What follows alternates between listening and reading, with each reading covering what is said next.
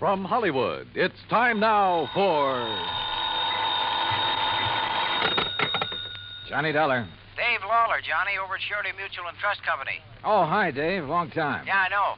Listen, do you own a pair of dark sunglasses and some real loud sports shirts? Mine are so loud I have to keep them in a soundproof drawer. Great. But where you'll be at this time tomorrow, nobody will give 'em a second look. Oh, like where? Well, according to the travel folders, it's, quote, the land where the summer spends the winter, unquote. In other words, Palm Springs, California. Dave, you're on. good. But don't forget, this could be pretty expensive for your company. Oh, more than you know, Johnny. 75000 hard cash. Ah, we. Unless you're able to prove the bracelet Dan Galloway gave to his child bride wasn't really stolen. For a trip to Palm Springs at this time of year, I think I could prove anything.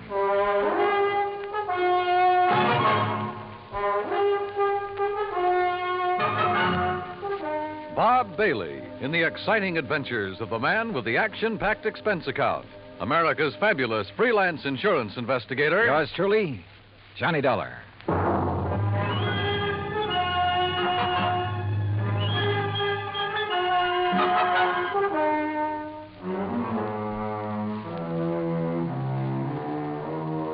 Expense account submitted by Special Investigator Johnny Dollar to the Home Office, Surety Mutual and Trust Company, Franklin Building, Hartford, Connecticut.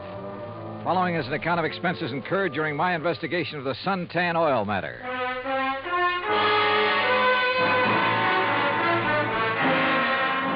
Expense account item one, $197.40. Airline fare and incidentals, Hartford to Palm Springs, California.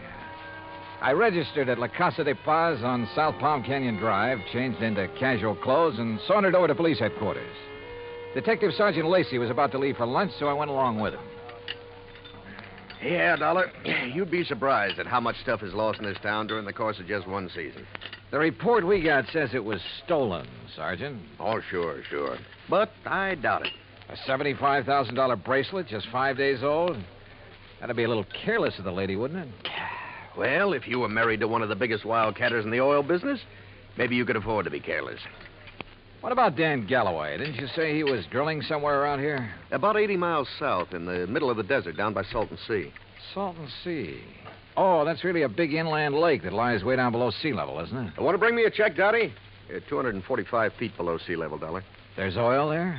Dan Galloway figures it this way. One of the most successful new fields that's been worked in years is deep under the Gulf of Mexico off the coast of Louisiana. There are a lot of salt domes down there, and underneath them are big pools of oil, millions of barrels. So, why not under the Salton Sea, which is all salt deposits? Who knows? Maybe he has something. Anybody else drilling down there? Uh, just Galloway. Who else needs it? I mean, any more than he does.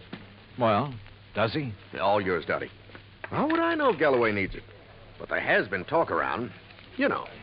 But if he's hard up, how could he afford that fancy bracelet last week? Yeah.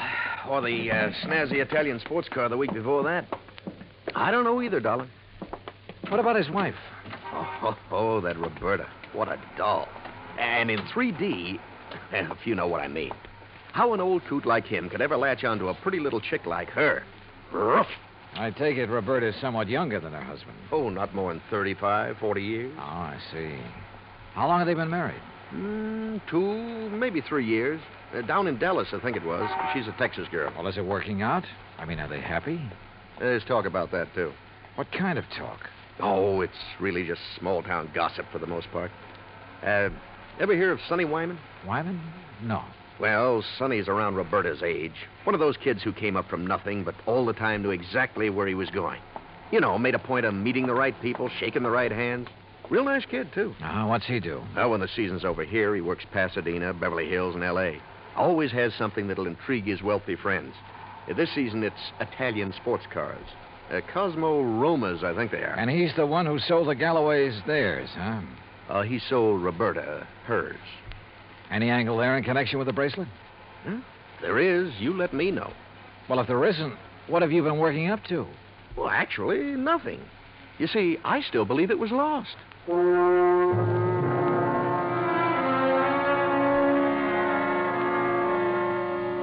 Expense account item two, $35 for rental of a drive your own car. I found the Galloway place about two miles out north and east of town.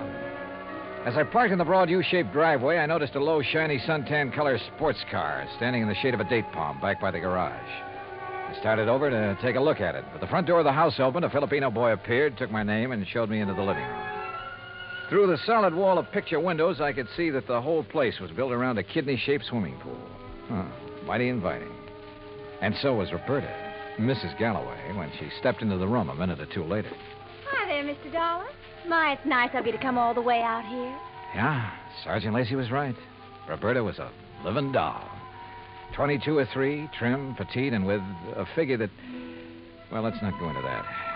She said it would be more comfortable out on the lanai beside the pool. I just wish there was something I could tell you about that bracelet that'd help you find it, Mr. Dollar, but. Well, just must have been stolen. Well, it makes no difference insofar as your claim is concerned, Mrs. Galloway. The company will still have to pay up, you know, unless, of course, it's found. Oh, I know that. How do you go about your investigation? I mean, uh, do you offer a reward or something? Uh, usually, yes. Uh, of course, it depends on. How much have they offered for my bracelet? Well, frankly, I haven't checked on that yet. But now, Mrs. How Galloway. much would you guess, Johnny? Well, claim this size, probably somewhere between 10 and 30 percent. It de- What's the matter, Johnny? Your ear's out a mile. uh, nothing. I, I just thought I heard. Now, that's funny. I didn't hear a thing. But I had. Quick footsteps somewhere in the house. Then a door opened and closed. Then a few seconds later, the unmistakable growl of a high-powered engine thundering out through twin straight pipes. Oh, that. Probably some hot rod fan in the neighborhood just drove by. Aren't they She all- prattled on for another hour or so and again asked about possibilities of a reward for her bracelet. But so far as helpful information was concerned, she came up with nothing. So I excused myself and drove back to town. I wanted to talk to the driver of that sports car. I also wanted to check with Wilhoit Van Hook, the jeweler who had sold the bracelet. I found his shop on Palm Canyon Drive, a small place, but very ultra ultra. As I was about to enter the door, Dollar, got a minute? Oh, yeah, sure. Two or three minutes. And I, uh, I like your car. Mr. Wyman, isn't it? That's right. How'd you know? How'd you know mine? Yeah, real cloak and dagger stuff, huh? You, uh, you knew I was out at Berta's house, didn't you? Well, it seemed pretty obvious when I heard you hot-footed for the door, and then heard this pint-sized monster of yours barrel off. Hey, you wouldn't like to buy a Cosmo Roma, would you? It's a real dilly. Oh, I'd like nothing better, but I'm out here on a job. Yeah, I know. That's what I wanted to talk to you about. Well, you know anything that'll help me? Not much, I'm afraid. But I'll be glad to tell you anything I can. You going in to see Willie? Willie? Yeah, you know, Will Hoyt Van Hook, the jeweler. I was, yeah. Why? Do you know him? Know him. I sold him one of these. One exactly like mine. And we're both going to be in the rally they're holding next Sunday. You ever see a good sports car race? Uh, no, I'm afraid not. Well, we'll soon fix that. And look, uh, after you've talked to Willie, if you want to go down to where Dan Galloway is drilling his new well, I'll be glad to give you a lift. Good idea, but I don't want to take you out of your way. Oh, not at all. I was going that way anyhow. Besides, uh, I thought it might give us a chance to talk a little. Sure, Wyman. Why not?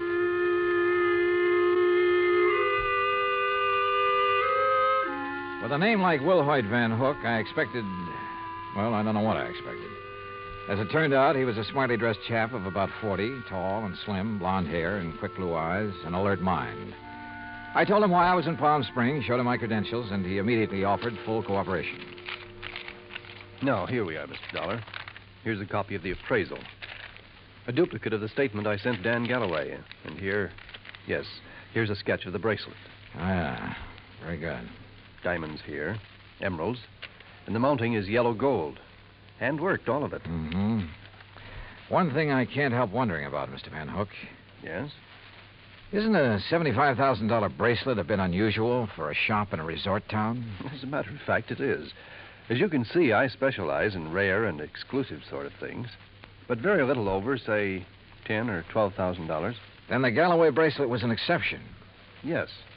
After Dan told me what he had in mind to give to his wife, I had some sent over from Pasadena and Los Angeles by wholesalers with whom I do business. You know, had 'em shipped down on consignment.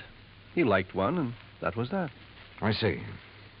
Mr. Dollar, I wouldn't want this to go any farther, of course. But after all, jewelers and insurance companies are. Well, our businesses are pretty well tied together, at least on occasion. Yes, unfortunately. But what are you getting at? I'll tell you. Two days after the bracelet was delivered, one morning, just as I was opening up, Dan came in here. So? He was ill at ease, looked worried. He said he had to have some cash quickly. He asked if I could possibly refund his money. Oh? Did you? No, because I couldn't. Things have been rather slow for me this season. Quite frankly, I'd used all I'd made on the bracelet to pay up some old bills. I told him as much and that I was sorry, but I just couldn't help him. Did Galloway say why he had to have that much cash right away? Yes. Well? I don't know much about oil drilling, but as I understand it, his test well is down some 400 feet further than he'd planned on going. And the day before he came in here, something on his rig had broken loose and left him with a highly expensive repair job before he could proceed any further. Apparently, it was all very serious and very expensive. Hmm. Strange his wife didn't seem to be bothered. I just talked to her. Berta? Believe me, Mr. Dollar, she wouldn't be. In fact, I doubt if she even knows. Oh? Figure it out for yourself. A man of nearly 60 who has to give bracelets and fancy cars to his wife to keep up her interest. Well, you'd hardly expect him to tell her that kind of news, now would you? No, I suppose not. Especially if he's worried about the competition. And if you ask me, he has competition. If only he could see it.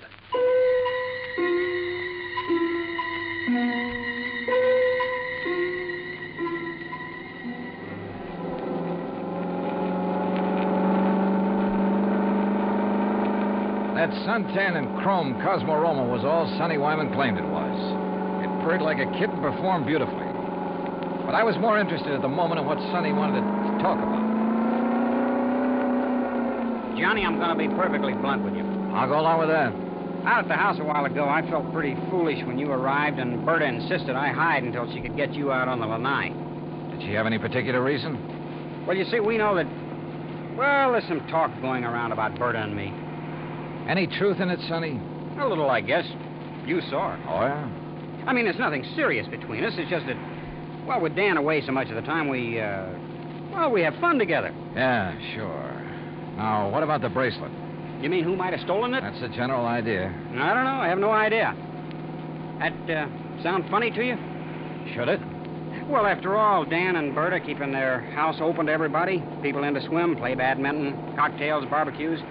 I guess half the population of Palm Springs has been there at one time or another. And even if it weren't an invited guest, why, it'd be simple for someone to just sneak in and walk off with it. Providing, of course, they knew where it was kept. Well, yeah, someone who was close enough to. Well, yeah, I. Uh... I heard uh, Berta ask you about a reward for it. You think a big enough reward would turn it up? I would think so. I understand that stolen jewelry brings about uh, 20 cents on the dollar. Sometimes it brings 20 cents. Sometimes 20 years. Uh, well, yeah. Well, I uh, just wondered. How's the car business doing, Sonny? Oh, great, great. It's really one of the reasons I'm driving out this way. Oh, a prospect? An oil rich Indian or a well to do prairie dog? Hardly. No, I told you we were having a sports car rally on Sunday. Well, being the promoter, so to speak, I'm going down to check the course. If you're still around, you ought to come. Oh, maybe I will. Having some good events, too. Willie Van Hook and I are running a match race. He's quite a bug, you know. And ever since I sold him the twin to this job, he's been working it over. Special carburetor, racing cams, everything. And no wonder I can't afford this kind of stuff. Oh, man. You'd be amazed at the amounts of, amount of money that changes hands Hey, on wait a minute. Sonny. Isn't that an oil rig over there? Uh, yeah, Dan Galloway's. The rig itself's about uh, 50 feet out in the lake. The shack or office or whatever you want to call it's over the other way. You see? About a quarter of a mile beyond those Joshua trees. I'll drive you over. He did. There was an old car parked near the shack, so we figured Dan Galloway must be inside. Sonny Wyman dropped me in front of it, then took off in a cloud of dust and exhaust gas. I picked my way between the cactus plants, opened the door without knocking, and barged right in. Mr. Uh... Oh. Oh, hello. Oh, no use asking if Mr. Galloway is here. I can see he isn't. No, he isn't. Is it all right if I wait? I'm Johnny Dollar. I'm Mrs. Galloway, Mr. Dollar. Huh? Hell, that is, I'm the first Mrs. Galloway. The former. The one who scrimped and saved while Dan was booming around every oil field all over the country trying to make his score. I'm the forgotten Mrs. Galloway. Oh, yeah. Well, I'm sorry. Are you expecting him back soon? who knows? I've Been waiting here three hours. But I'll wait three days if I have to. Promises, that's all. Promises. What do you mean, Mrs. Galloway? After working to help him the way I did for all those years, and then to be tossed over for somebody else who never did a lick of work in her life.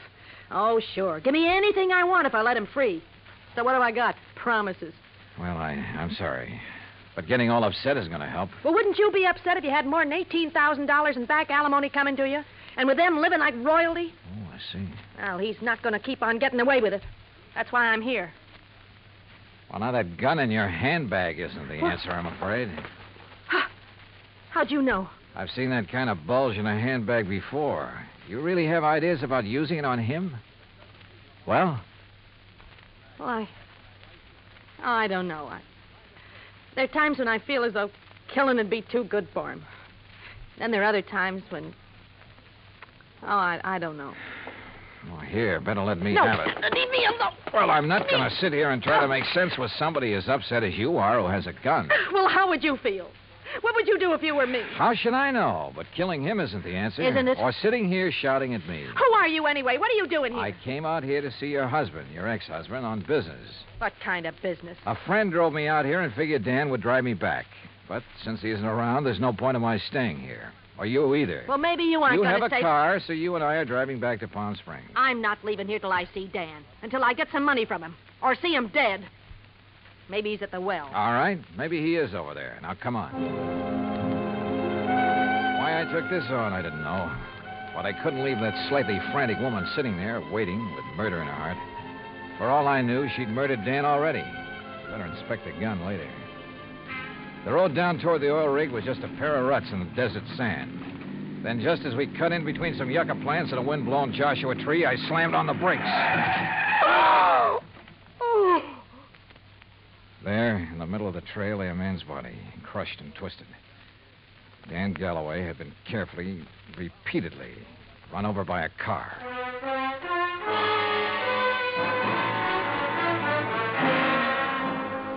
Expense account item three, one dollar nineteen cents for a quick phone call to Sergeant Lacey in Palm Springs and smelling salts and a bromide for Flora, the ex Mrs. Galloway. Then I dropped her off at the Galloway house. She and Roberta ended up consoling each other while I huddled with Lacey in his office at headquarters. Some of the boys are still out there, Dollar, checking tire prints, taking pictures, and so on. No clue as to who ran Galloway down? Not yet. Looked to me as though Galloway stepped out of his own car to see whoever'd pulled up in the other and was run down for his trouble. The car that did it ran around in a circle over and over him. Any suspects, Sergeant? You found his ex-wife Flora waiting for him in the field office, you said. That's right. And she was pretty nervous, on edge, you say. So? Also, she was carrying a gun. Whoa, whoa, now, wait a minute. Uh, any reason why she couldn't have run him down earlier, then gone back and just waited for somebody like you to come along? Somebody with whom she could then discover the body? Only one hitch. You told me yourself, Dollar, that she was pretty insistent about your going over there to look for Galloway. Yeah, yeah, I know. But, Sergeant, you're off on the wrong foot. Why? Because of the tracks left by the killer's car. They didn't match the tires on Flora's car.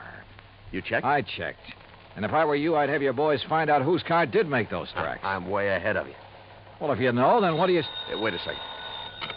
Yeah? Levine, Sergeant. I got news for you. Hey, listen to this, Dollar. About those tire tracks at the scene of the killing. Well, right on cue. They're the, the same make and size as the tires on Sonny Wyman's Cosmo Roma. You sure? Well, I told you it's the scene I thought it was a sports car by the small size of the circle the tracks made. Yeah? And knowing the feeling between Wyman and Galloway, I went right over to his place. Nice, clean tracks all over. And they match. You're holding Wyman? Oh, well, I don't know where he is, Sergeant. He wasn't at his place, and there was no answer to the phone at his showroom. Well, then get after him. Put out a flash on him. With that car, he shouldn't be too hard to find. Let me know when he's picked up. Yes, sir. What do you think, Sergeant? You know something, Dollar? I have a notion that when we find Sonny Wyman, we'll also find out what happened to that bracelet. Yeah, could be. One thing was certain Dan Galloway could no longer be suspect in the case. But Roberta? Why not? Maybe she did know that Dan had run out of money. Maybe that's why she was so interested in the amount of reward for the bracelet. And what about Sonny Wyman? Well, it looked bad. A smart young opportunist out for the fast buck. And of course, close to Galloway's wife. Anything he could do to hurt Galloway would help him. And now these tire tracks, the one solid clue to Galloway's killer. Sergeant Lacey and I drove out to the Galloway house. No, Johnny. I haven't seen Sonny since he left here this afternoon. That's when you were here. He didn't call up? Why should he call up? Why shouldn't he call Roberta if he'd heard that Dan was killed? Now, you listen here, Mr. Dollar. If you're trying to trick me into saying something about Sonny having anything to do with Dan's death, you're wasting your time. And what's more. Pardon me. Hello? Oh, yes. Just a minute. For you, Sergeant Lacey. Oh, thanks. Hello? Yes? Yes, when? Yeah, I see. Okay, Levine, thanks. Has he found Sonny Wyman? He sure has. And if you want to see him, you'll have to go to the coroner's office. What? Oh, no. Yeah, that souped up car of his, a couple of miles out of town. Ran off a curve and over a hundred foot bank. Within minutes, Lacey and I were at the scene of the accident, looking things over with the help of flashlights. Yeah, he must have been really burning up the road to spin and roll this far off the highway. But surely he must have been familiar with that curve. Oh, sure. He knew these roads around here as well as anybody in the county. Tires still in one piece, too. And these sport cars usually corner pretty well. Well, this one didn't. Hey, Lacey, look here. Yeah? This left rear fender. Looks to me like this car was sideswiped. Hey, you're right. Rolling over never make a long crease like that. Uh huh. Uh, no, wait. If another car sideswiped him, there'd be paint on this fender. Paint from the other car. Sergeant, you're absolutely right. And since there's none here. Sergeant, you're absolutely wrong. How far to the nearest filling station? What? I want to make a couple of calls to some wholesale jewelers in Pasadena and Los Angeles. Right now, in the middle of the night? Right now. Wholesale jewelers. Expense account item four, eleven dollars and ninety cents. Phone calls to Pasadena and L.A. The third call yielded Mr. Alfred Mencken of Mencken Imports Incorporated, who was pretty cheerful about having been gotten out of bed. It's quite all right, Mr. Dollar. Now that I'm up, I'm wide awake almost. Well, I hate to throw something like this at you in the middle of the night, Mr. Mencken, but tell me, please. Did you ship a diamond and emerald bracelet to Will Hoyt Van Hook in Palm Springs within the past few weeks? Why, yes, Mr. Dollar. Oh? As a matter of fact, I sent him three. That was two weeks ago, and he returned them all. Returned them? When? Well, two of them the day after he got them. But the third one he kept for a while. I got it back just last Thursday. Now, I don't know if that means anything to you. You bet it does. Thanks very much. Lacey and I piled into one squad car, four patrolmen in another. It was several miles out to the little ranch where Van Hook lived, and Lacey and I chewed it over as we drove along. It Don't hold out on me, Johnny. Whatever made you think of Willie Van Hook is the one who drove Sonny Wyman off the road? Well, apparently there was no paint on that fender from the car that sideswiped him. Actually, there was. Holy. Of course. Van Hook's car is exactly the same color as Sonny's. Another thing. The car that ran down Galloway, like the one Sonny drove, even down to the tires, but not necessarily the same car. Plus the fact I couldn't help wondering about Van Hook all along. Yeah, but why? In a job like mine, you have to wonder about everybody connected with a case. Anything particular about Van Hook? Well, he told me that he'd used the money he got from Galloway to pay off some overdue bills. And yet, a few weeks ago, he was able to buy an $8,000 sports car. It ties up, Dollar. It all ties up. But how did Sonny Wyman figure in it? Oh, Sonny was a fellow who lived by his wits. He may have reached the same conclusion about Van Hook that I did. May have had an idea for latching onto the reward money. Mentioned the matter of reward to me a couple of times. Or he may have had ideas for blackmailing Van Hook. Another thing. Van Hook saw me drive away from his shop in Sonny's car. That meant he had to act fast, get rid of Galloway, who'd given him back the bracelet, and of course take Sonny out of the picture, too. Yeah, it all seems to add up very nicely. And when we face Van Hook, well, well there's his place now. Yeah, here's his driveway. Well, either he's skipped out or he's asleep. No lights on in the place. Well, if you ask me, he's far. no, no, wait. Yeah? The third window on the right. The blind was pulled away for a second or two. Well, then let's get out of this car. We're sitting ducks in here. Well, how about it, Sergeant? What do we do? You boys split up. Cover the back and sides of the house. He's in there. Yeah. Okay, boys. Come on. Uh, Johnny, maybe you better keep out of this. Are you kidding? I'm... Hey, listen. A car door, I'm sure of it. Yeah, I know. Holy. What's he up to? Gonna lock himself in and take the monoxide route? Come on. Are there back doors in that garage? Not that I know of. Here, wait a minute. Van Hook! This is the police. We've got men all around this place. Turn off that engine and come out of there with your hands over your head. Don't be a fool, Van Hook. You haven't got a chance. Come out of that garage. That? He drove right through the door of his garage. Come on, Lacey, the car. Get after him, you guys. Get moving. Yeah, come on, boys.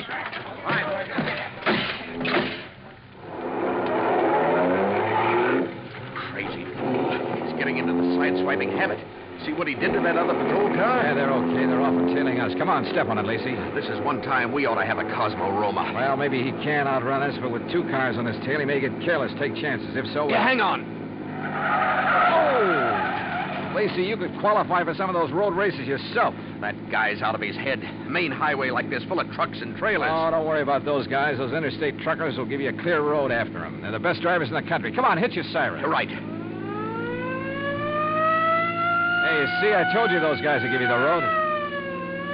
Holy. Look! The trailer in front of him. And the oncoming truck.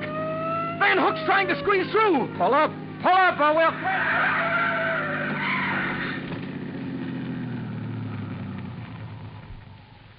Well, he squeezed through all right. Squeezed right through the pearly gates.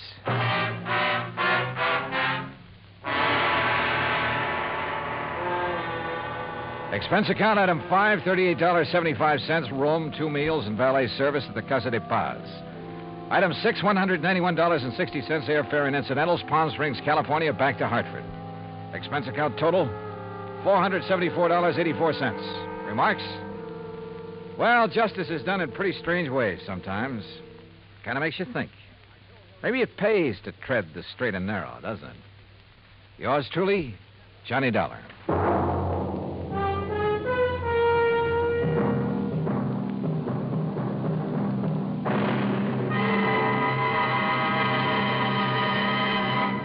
Now, here is our star to tell you about next week's story. Next week, international intrigue. A beautiful girl and a very clever chemist. Join us, won't you? Yours truly, Johnny Dollar.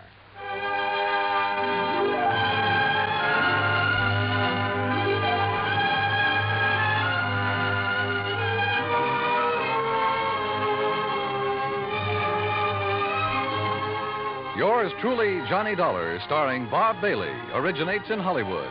It is written by Paul Franklin and is produced and directed by Jack Johnstone. Heard in our cast were Barbara Eiler, Paula Winslow, Forrest Lewis, Frank Nelson, Sam Edwards, Austin Green, and Shep Menken. Musical supervision is by Amerigo Marino.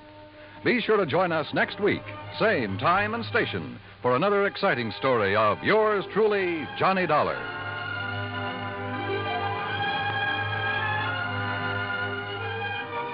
This is Dan Cubberly speaking.